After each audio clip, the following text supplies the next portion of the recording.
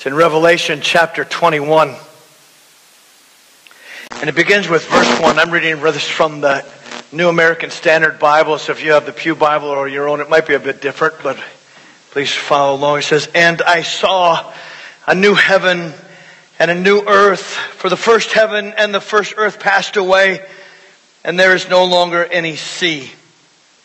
And I saw the holy city, New Jerusalem, coming down out of heaven from God, made ready as a bride adorned for her husband. And I heard a loud voice from the throne saying, Behold, the tabernacle of God is among men, and he shall dwell among them, and they shall be his people, and God himself shall be among them. And he shall wipe away every tear from their eyes. And there shall no longer be any death. There shall no longer be any mourning or crying or pain. The first things have passed away. And he who sits on the throne said, Behold, I am making all things new. And he said, Write, for these words are faithful and true. And he said to me, It is done. I am the Alpha and the Omega, the beginning and the end. I will give to the one who thirsts from the spring of the water of life without cost. He who overcomes shall inherit these things, and I will be his God, and he will be my son.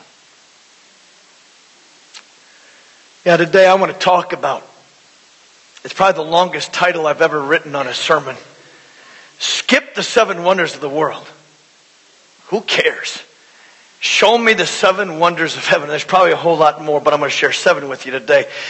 Let me start this way. There was a, a couple Sundays ago, Dr. Julie was, uh, she was teaching the second grade Sunday school class, and uh, she was talking to them about the wonders of heaven. Uh, they listened with rapt attention as she described the details of the final chapter of the book of Revelation. And when she finished, she turned to her class and, and she said, How many of you want to go to heaven? Every hand shot up, except for one little boy. Bobby didn't raise his hand. So Dr. Julie assumed that Bobby hadn't quite heard the question, so she asked it again. How many of you want to go to heaven? And again, every hand shot up except for Bobby's. Yeah, so Dr. Julie asked directly, Bobby, Bobby, you want to go to heaven when you die, don't you? And Bobby looked at her and said, Of course, of course. But I thought you were getting a load of kids up right now. And I missed my ride home last Sunday, and my dad said, I better get right home after Sunday school or else. Let me ask you a question. You want to go to heaven, don't you? Of course you do. But not everyone does. And for a lot of different reasons. Some think it's too boring. Mark Twain didn't do us any favor when he wrote about Huck Finn. Huck Finn rejected any real interest in heaven by saying all a body would have to do is to go around all day long playing their harp and singing forever and ever. Younger people sometimes deny any interest in heaven for that reason alone. They tend to think that they're going to live forever is another. Older folks know better. A little girl once asked her slightly older sister why her, their grandmother always read the Bible so much. And her reply was, I think she's studying for the final exam. Those who are wiser think about heaven sooner rather than later. You see, life has no guarantees. All you have is right now. You have no guarantee that you'll be here on the face of this earth tomorrow. So today I want us, for those reasons, just to look at this sermon and this title, Skip the Seven Wonders of Heaven, of Earth. Give me the seven wonders of heaven. Well, first of all, what we probably need to do is we need to define the word wonder. What does wonder mean? Well, let me put it in simplest terms that I possibly can. When you wonder about something, it, and it's a wonder, it, it makes you wonder. I know that's not much of a definition, but it's the best one I can give to you. It's amazing. It's spectacular. It's marvelous. It makes me wonder how did that happen? Or how could that be? So let me give you seven wonders that I think and I see in Scripture. Here's the first wonder the wonder of heaven's existence. I mean, this is what the Spirit revealed to the Apostle John about heaven according to the book of Revelation. Scene after seed flooded before John's eyes over and over again. And it's, it's hard as John tries to tell us about heaven using this human language. He just couldn't do it justice. There's not enough words to define the glories of heaven. There's not enough words to describe the beauty that lies there. This is a place that's not made by human hands, never wears out. Its inhabitants are too vast to number. Its streets are of gold and its walls are of jasper. There's no hospitals, cemeteries, prisons, or mental institutions. There's no crime, pollution, hurricanes, floods, tornadoes, or earthquakes. Think of stepping on a shore and finding it's heaven. Think of taking hold of a hand and finding it's God's hand. Think of breathing new air and finding it's heaven's air. Think of feeling invigorated and finding its immortality. Think of passing from a raging storm to an unknown calm. Think of waking up and finding it's heaven. See, actually, Revelation emphasizes more the size of the city than the individual residents in it. Uh, but a big city means that there's a lot of space for lots of people. This New Jerusalem that the Apostle John names, he, he describes it as a cube. It's 1,500 miles wide, it's 1,500 miles long, it's 1,500 miles deep. That's hundreds of times bigger than the biggest man-made metropolis. The numbers are more figurative than literal. They're exploding our minds when it comes to its vastness and its an enormity beyond what we could ever imagine. The foundations are marked with jewels of untold value. Bible scholars are actually unsure of the identity of some of the precious stones mentioned. Civilizations have used different terms for such gems through the centuries. Single pearls, one pearl, it, it takes up a, a gate. There are 12 gates in this beautiful city. The streets are paved with gold that's so pure, it's almost transparent. Crystal pure water flows through the city. Parts of the scenery sound like a garden or an oasis. The descriptions intentionally evoke images of the Garden of Eden. There was a little girl who was out walking with her daddy late one night.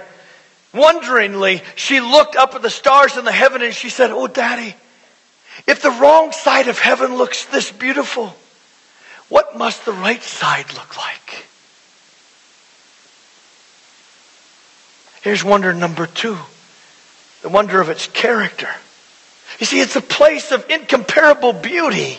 Paul tells us well in 1 Corinthians chapter 2 verse 9, eye has not seen, ear has not heard, neither has the mind conceived all that God has prepared for those who love him. It's a place of purity and holiness. The Bible says in Revelation chapter 21 verse 27, and nothing unclean and no one who practices abomination and lying shall come into it. It's a place without sin. And therefore, without sin's consequences, there's no war, there's no hatred, there's no crime, there's no disease, there's no punishment. It's a place without sorrow or sadness or death. It's perpetual joy and life. In heaven, where all receive new bodies.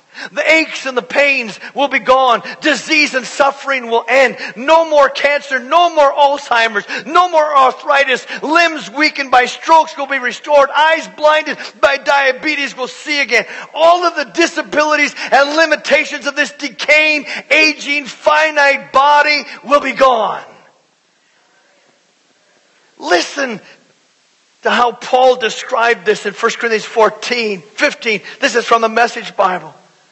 This image of planting a dead sea, seed and raising a live plant is a mere stretch at best.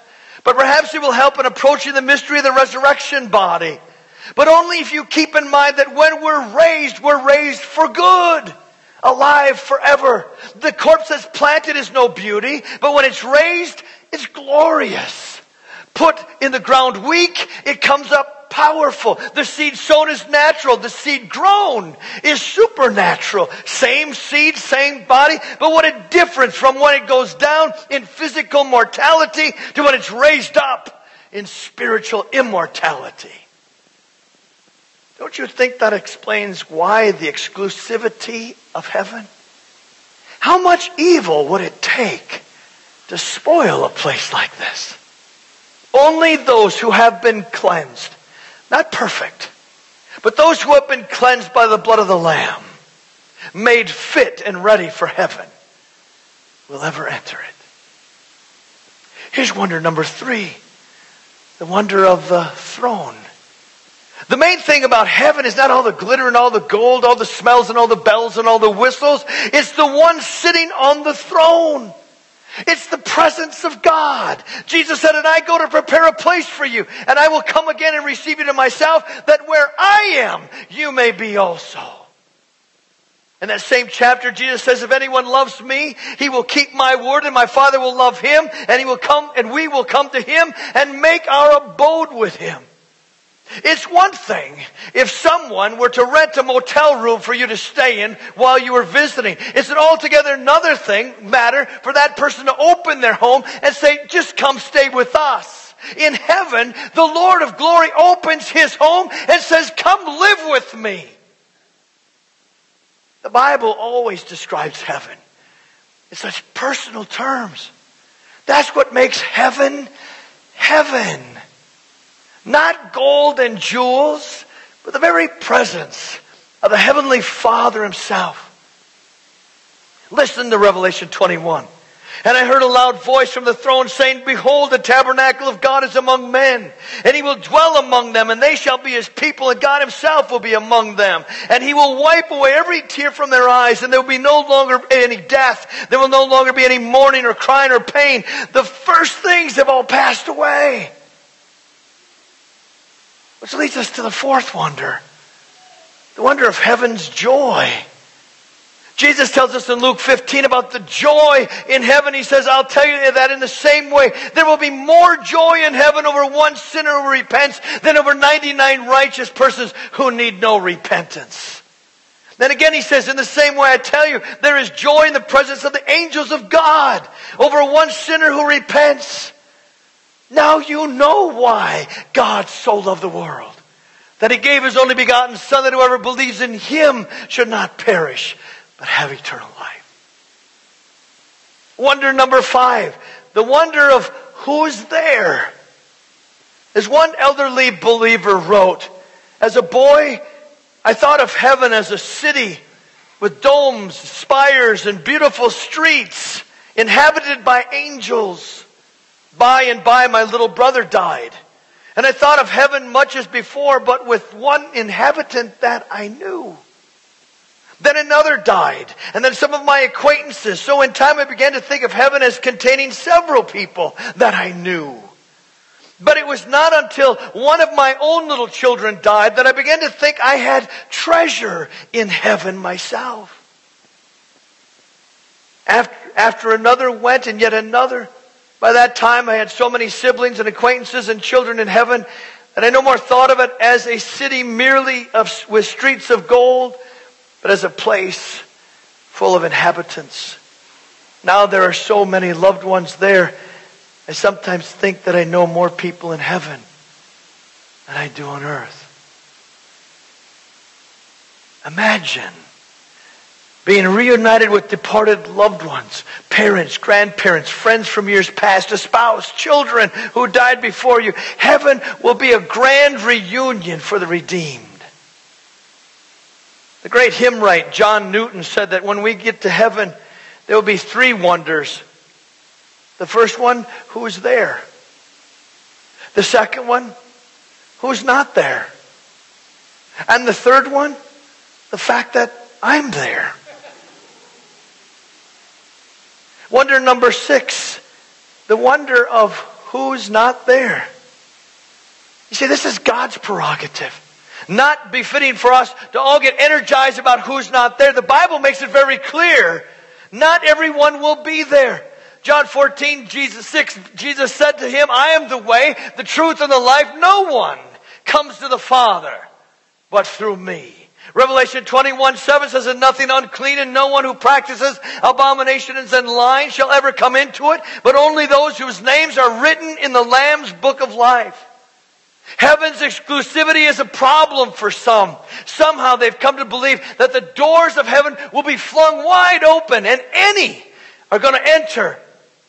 And yet the Bible tells us differently. Someone once said, a man may go to heaven without health, without wealth, without fame, without a great name, without learning, without culture, without beauty, without friends, without 10,000 other things, but he can never, ever go to heaven without Jesus Christ. Which leads me to the last wonder, the seventh. The wonder that more people don't prepare. The Bible says, whosoever will may come. Whosoever will may come. It's an open invitation. It's for each and for all. Whosoever will may come. You see, the ticket has been paid for in full. Do you have your ticket in hand? Of out of all the questions in life, make sure that you have that question answered. Do you have your ticket in hand? You see, reservations are still available. They're still available, but there's going to come a time when there will be no more reservations. They won't be taken anymore. And you must have your ticket to get on the bus. Listen to me. There are some choices you don't get to make in life. You don't choose when to be born. You don't choose when to die. You don't choose to enter eternity. But the choice you do get to make is where you'll spend eternity.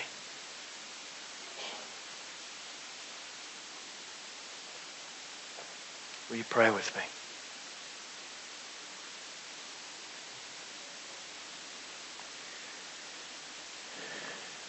Father,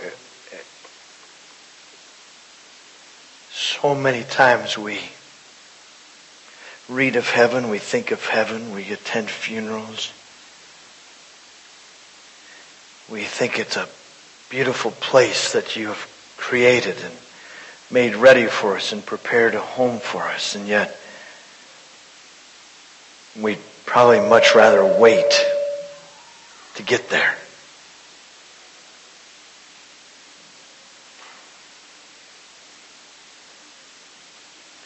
And yet you've opened the door for us through the cross, through your Son, who paid the eternal price. And even he said, I've gone to prepare a place for you. From the beginning of time, he's created this place. Help us live with heaven on our mind. Help us live with a destiny in place Help us live yearning to be in your presence forever. I'm but a stranger here. Heaven is my home. Thank you, Jesus, for opening that door. In your precious name. Amen.